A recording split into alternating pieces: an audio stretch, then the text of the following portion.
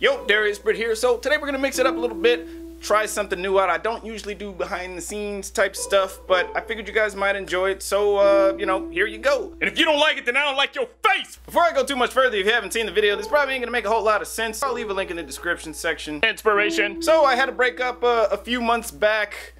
It was a two-year relationship, ended in flames. Long story short, I had a great girl, but I was a jerk and I was kind of selfish. And then when I fell in love with the great girl later on, the damage was already done, and she broke me. It was the typical "you don't know what you got till it's gone" scenario. Ah. And especially after like you first break up or you're broken up with and like you're hurting so bad all the time and nothing you do makes it go away and it just kind of like makes you turn into a monster for a little while. There was a little gap where I stopped making videos, and that's because I was going through the blues. That's what my face looked like when I was going through it. It was it was pathetic. I couldn't write about film stuff because my personal life was dominating my mind so much. And so I figured, well, since I can't think of anything else besides this heartbreak business, then why not just make a video about that? Cause that's what's on my mind. Process. I knew that I did not want to do a big, stressful, resource-intensive short film. I wanted to keep it simple, something that I could easily knock out, something more so that I could just kind of get this off my chest and I wanted it to be small enough where it would just require me and one other person and a few cameras. Before I penned the script, I did about two weeks worth of research. I ended up rewriting the script for this like three times. The first approach I did was more of a tip video type structure and it just didn't gel well with the visuals. And then at another point, I had a 13 episode like web series type deal going on. I spent two weeks writing that and then it just that didn't really work for this particular project. I finally settled on a more motivational type video. Cameras! Total I used five different cameras. I used my Canon 60D, my cell phone which is a Samsung Galaxy S3. 80% of what you saw in the video was actually my cell footage. I used my Nikon Coolpix vlogging camera, my old GoPro Hero 2, and a GoPro Hero 3 with a 3-axis gimbal stabilizer that I borrowed from a friend. I knew that I wanted the video to have like a home video feel to it, so the combination of these cameras really helped to make that possible. Acting. Kaylee Michelle is the girl who played the ex. She's a good friend of mine. She knew what I was going through at the time. I told her about this project and she was down to help. She has no acting experience whatsoever. She's actually a painter. You can find her work at kayleemichelle.org. I'll leave a link in the description section if you're interested in checking out some of her work. The thing about Kaylee is she's supernaturally comfortable in front of the camera. I did a few camera tests on her just to see how the camera reads her and the camera just loved her. She has a certain watchability to her. So those two things combined gave me the confidence that she could pull it off. Many of you may remember the Incredibles movie breakdown that I did where a lot of you were asking who was the random woman who was sitting in the back. That was Kaylee. Production. He's gonna start walking on you or something. Doing some location scouting. I always wanted to shoot something in a lamp shop. So, uh, this place looks good too. Got Dan the man back there. Yeah. Yeah. Over the course of two and a half months, Kaylee and I went to a ton of events and get togethers and just recorded the happenings of this mock couple. It was nice because we could literally just go anywhere we wanted to and film. We just looked like two people making a goofy home video. Makeshift tripod. Love this little guy, man.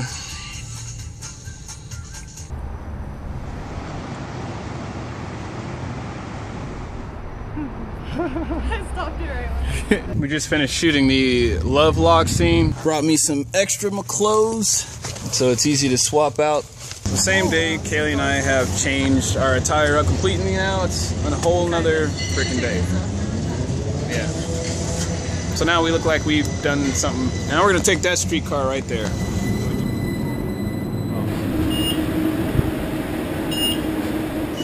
Here you're on your your home turf here. Where to get home. I know. Doors to my left. Here, and if it's out of focus, you can just tap the screen. Okay. Are you guys gonna smile? So we just got done popping some shots on the streetcar. We literally en- enlisted the help of complete strangers to stop, Second Street um, and record Shenandoah stuff for us. Doors to my left. They were confused. And they were very confused. we told them we were taking a picture and we weren't taking a picture, we were doing video. okay, come closer. Okay, here. Wow. A little bit closer. Right there, yeah. Whoop. My hand okay? Right there? Yeah, wait, we're not seeing your hand. Here's our studio.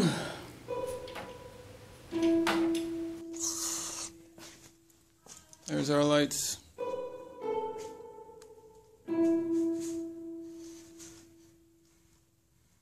Darkness. Bounce. Darkness. Bounce.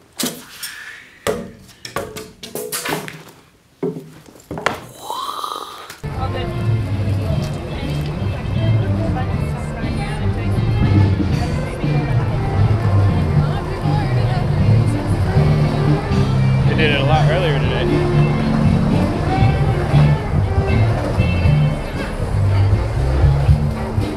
Hey.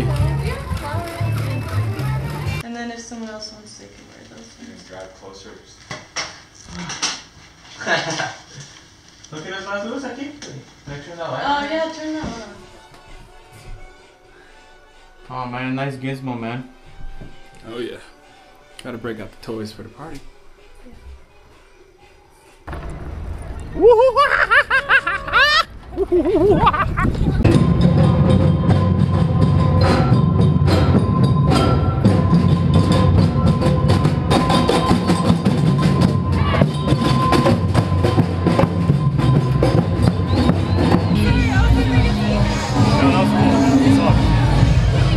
running and it'll stay in place, right?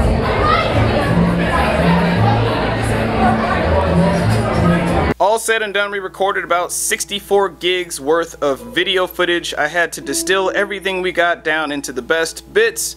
There were a lot of clips that I wish I could have used, but they just didn't work in the edit. Post production! It took about four cuts of the film to reach a picture locked version that I was very happy with. And the voiceover that you guys hear in the video, I re recorded that like five times. I recorded all the voiceover with this AKG mic because I couldn't get the type of sound that I wanted with the mics that I have. I'm just borrowing that bad boy from a friend too. I don't own that mic. That's like an $800 mic. It is 4 o'clock in the morning and I am currently um, composing the score for the Heartbreak Project. And it's coming along really good. It's taking a while. We may enjoy the good times, but it's the hard times that shape the times that. The first composition that I did with the music I liked for a while, but then as the cuts went on and I heard the music more and more, I just started freaking hating it, so I like completely recomposed the music again. The whole voiceover effect that I did with the mic was new for me. I've never done that particular type of voice work. I was literally like this close to the mic. The whole motivational video approach, but you're talking about subject matter like love and heartbreak, which really needs to breathe. That was really tricky to kind of find the pacing for that, where you leave enough pauses where people can kind of think about what you said and maybe reflect on their lives, but not so much that it slows the pace down to the rate of molasses. I almost gave up on this video completely for two reasons. One, the elements just were not coming together and it was becoming way more complicated than I anticipated. And two, I was I was moving on myself in the heartbreak process because I mean it happened months ago and it was taking months to make this video. So by me kind of getting better but then still working on a video that's still talking about heartbreak and all this stuff it just kept me in that headspace when i was really ready to just move on i almost like just was like i gotta let this video go you know it didn't work out i just i didn't give up on it I kept plugging away at it. I kept massaging the edit, and the elements, you know, slowly but surely came together.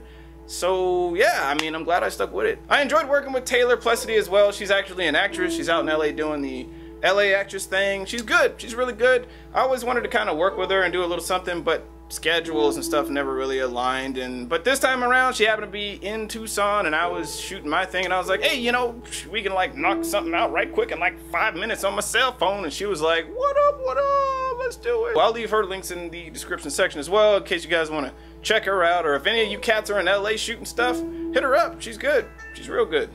Oh, somebody text me. Well, I hope you guys enjoyed this video, and and if you didn't, then I don't friggin' care. I just friggin' did it anyway. So yeah. Well, that's all I got for you. If you enjoyed what you saw, please like or subscribe. You can find me on the social medias Facebook, Instagram, Snapchat, or the Twitter, baby. You can also check out my second YouTube channel, Darious Britt, where I vlog about my Avengers on the Film Festival circuit, my first feature length film, unsound live casting vlogs, etc., etc. I do believe that's all I got for you, suckers. Deeper down. Booyah!